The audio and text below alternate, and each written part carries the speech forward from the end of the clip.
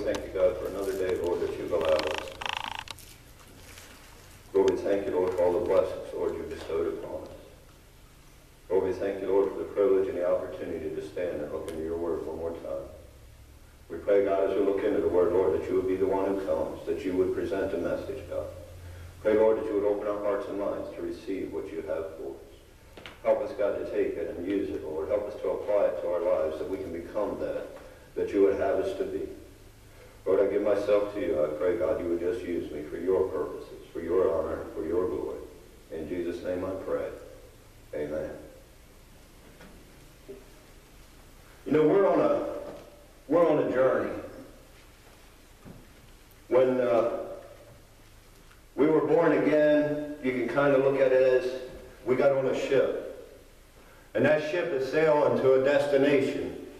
Everybody knows that that destination is heaven someday. But we didn't get on that ship as passengers. We're the sailors. We're the workers. We've got the greatest captain in the fleet. But let me ask you a question. I want you to think about this. If physically there was a ship and they had the greatest captain in the fleet, but the sailors were shirkers, and the sailors didn't do their job right, or the sailors only did their job half the time, suppose the guy who was in charge of the engines only checked on them once a week. There could be a huge problem. An engine could blow up, an engine could catch on fire, an engine could quit. Suppose the guy who was in charge of the galley never stocked the cupboards. People could end up going hungry. People could end up starving. It doesn't matter how good the captain is. If the crew doesn't do his job, should that ship be taking on passengers? I don't think so. It'd be putting those passengers in danger. Well, I'm going to tell you something. It's the same with the church. We've got the greatest captain. But if the crew isn't doing its job, we got no business taking on passengers. Now, I'm going to tell you something. I've said a lot over the last little while. We don't got time to play. We got to quit playing church and start being the church. But I'm going to tell you something. I believe that a lot of us are still playing church. It's time to take the job seriously. That guy who runs the engines on that ship, he has to keep constant watch on them. He's got to oil the parts that need oil. He's got to maintain whatever uh, needs to be maintained. He's got to do constant maintenance. He's got to keep it in tip-top shape because otherwise the whole ship suffers. That's us. We're the crew. We have got to do what our job is to do. Yes, we've got the greatest captain. But it's not his job to stop the galley. It's not his job to maintain the engines. It's not his job to do all these other things that have to be done. That's why he brought us on board, to do those things. But I, am telling you, I believe that the church, this church, Jefferson Church, is not doing its job 100%. I may say something, I might get blunt, I might get harsh. If I offend you, if I make you mad, if I hurt your feelings or upset you, please don't go away mad. Come and talk to me. I'm only going to give you what I believe that God has given me. There's so much going on in my head. You need to pray for me that God puts this together the right way. I want to ask you a question. How many of you believe in tithing? Amen. Do you believe that's just money? No. no. I believe that's you go back and read, they had to give up their herbs, they had to give up their animals, they had to give up everything that they had. I believe that includes time. Right. Let's suppose that we believe in tithing, we believe that includes everything we have. 17 hours approximately a week should be given to God. How many of you give 17 hours a week to God? Totally dedicated, 100% given to God. Not because it benefits you, gets you something, does something for you but given to God. Now that's just the tithe. If you believe in the tithe, you have to believe in what comes afterward. He said, bring your tithes and your offerings. That's over and above the 17 hours. Mm -hmm. So let's give him three more. That's 20 hours a week that you should be given to God. Totally, 100% sold out to God. How many of us do that? Let's go into the New Testament. You know what Paul said? Let every man give as he is able. Not as he wants. Mm -hmm. not as the church determines, not as anybody, as he is able. And God knows if you are able. You can make excuses, you can say this, you can say that, but God knows who is able and who is not able. And if we don't give,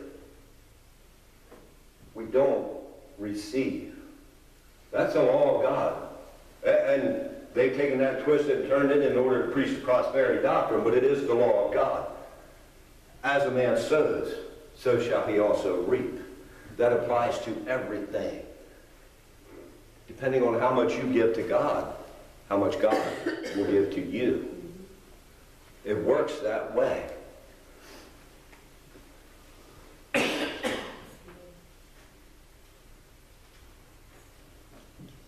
I believe that God requires more than we are giving him.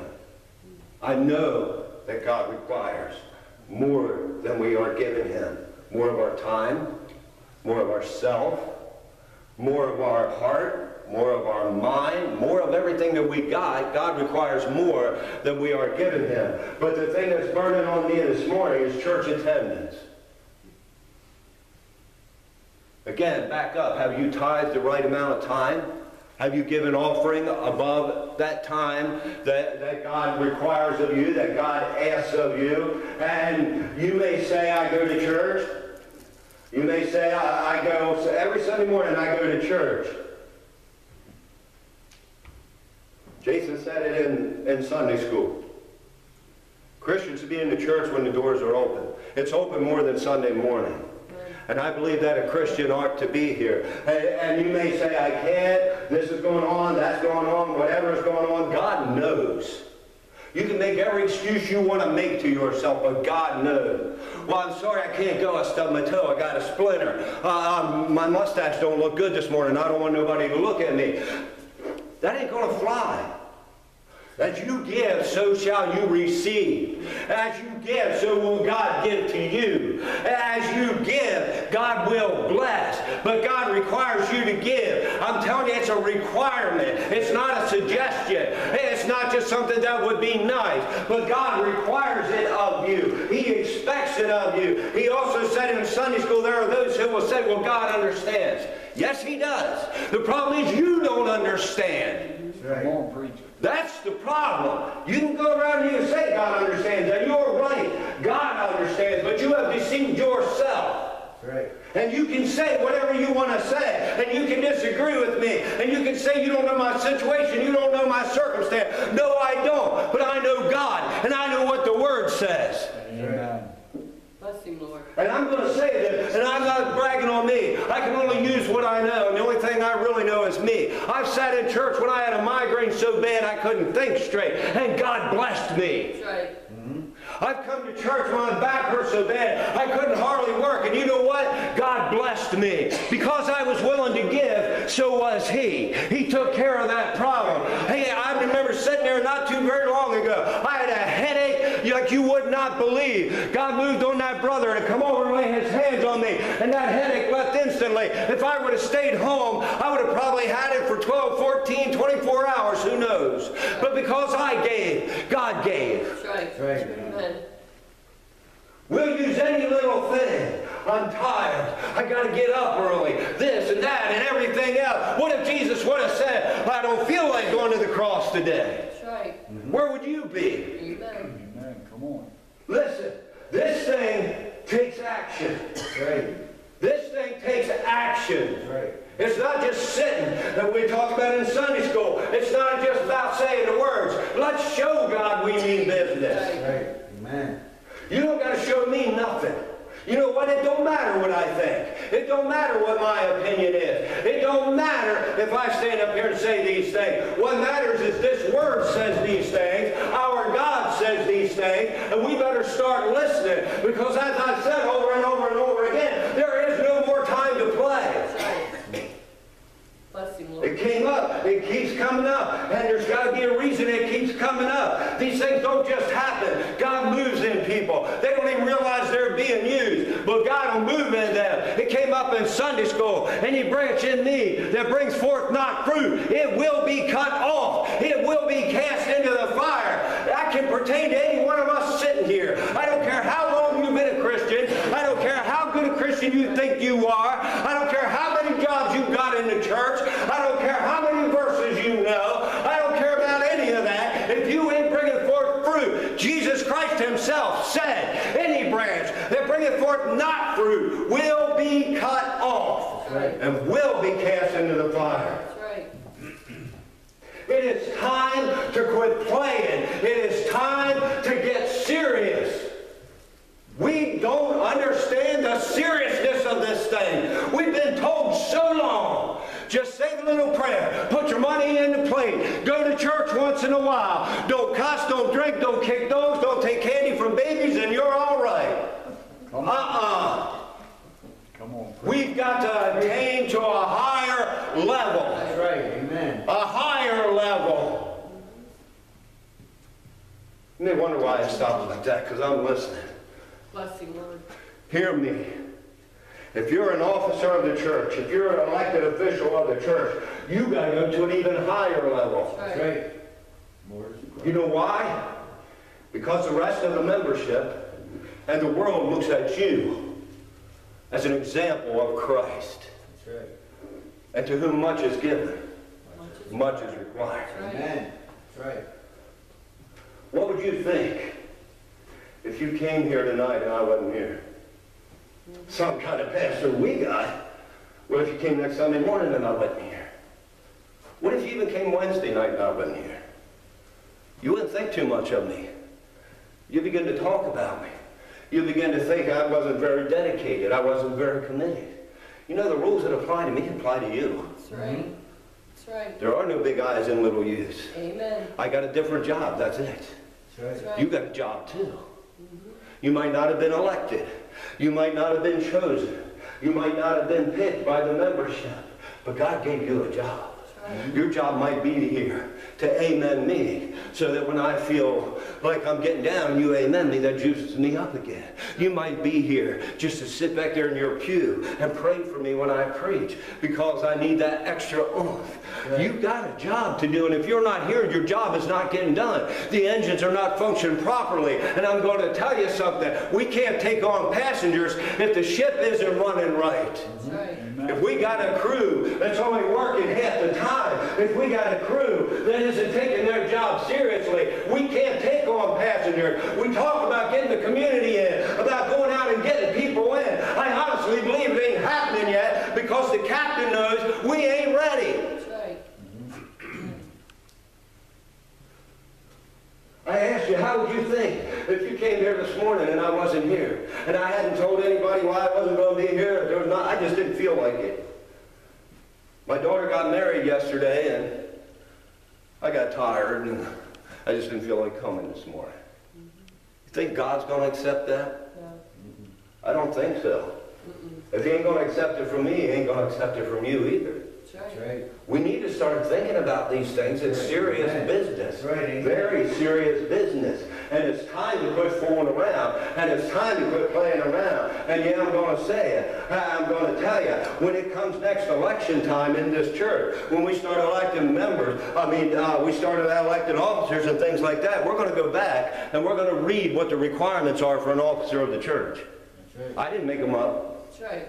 It was in the church founding that any officer or elected official of this church has to be here two-thirds of the time, two-thirds of the services. And I think that's letting them off easy. Mm-hmm. But according to the way this church was founded, if they're not, they can't hold an office. And I'm going to tell you something else. God requires more than that. That's That's right. right.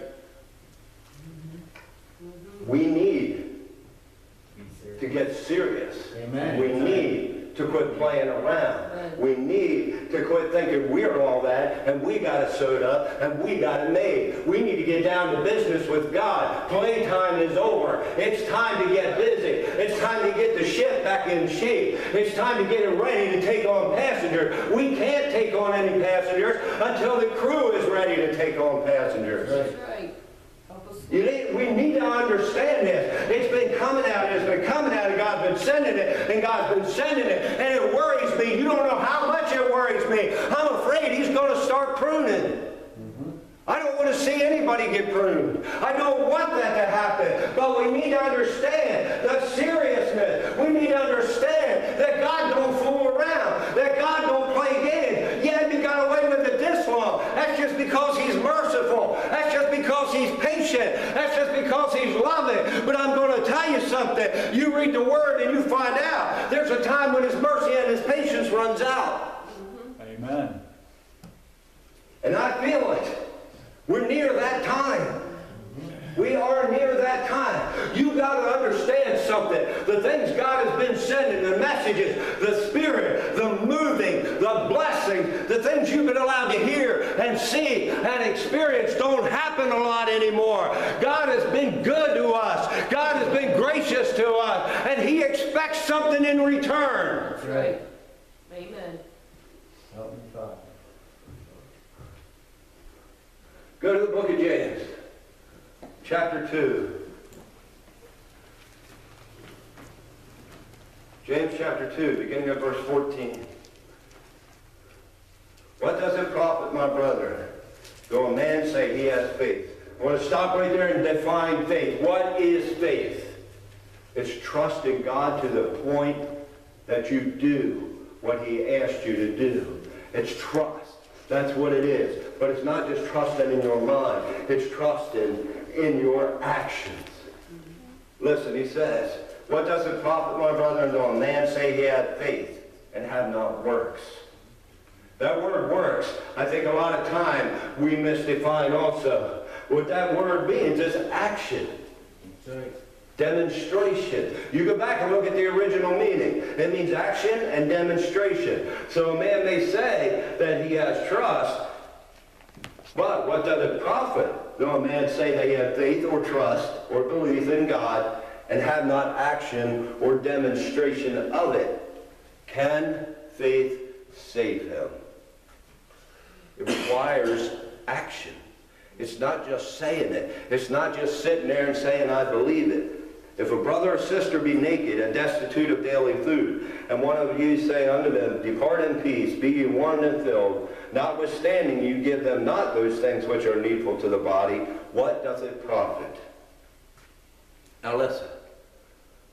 There are multitudes around us who are starving, who are naked. I'm talking spiritually.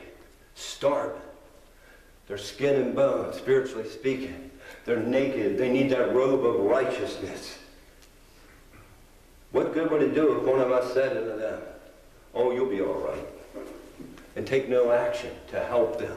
Take no action to introduce them to Christ. Take no action to bring them into the fold, to get them on board the ship. What if we did that? What good would it do them? We have got to take the action. We have got to be the ones who go out and distribute to the need. And I'm not talking about the physical need. That's good if you can do that. But the important thing is the spiritual need. And I'm going to tell you something. We cannot do that until we are repaired ourselves, until we are in the right place ourselves. We can't bring them on a ship that isn't running right. Because I'm going to tell you what's going to happen. If you bring them on a ship and they see all the problems, and they see a lazy crew, and they see a crew that doesn't live up to what they've been saying that they're going to do, they're going to get off the ship and they're going to go tell everybody else, don't get on that ship.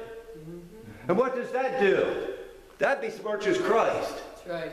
Because we're saying he's the captain of our ship. We're saying he's the one running this ship. But if the ship ain't running right, listen. What if you invited somebody to church and they came and you weren't here? What would they think of you? That would not give them much of an incentive to want to come back. That would not give them much of an incentive to believe anything that you said. What if you invited somebody to church and you were witnessing to them, but they saw you talking or acting or doing something that's not becoming to a Christian? That would not give them an incentive. We need more than the talk. We need the action. We have got to get this thing right, and we've got to get it right now. We can't just keep doing the same old, same old. We boozy in here on Sunday morning, and we sit here for a little while, and we go home, and that's it. I'm going to tell you something. God wants the people. I told you my daughter got married yesterday. In the ceremony, I talked a lot about commitment and dedication. Them two people expected the other one to be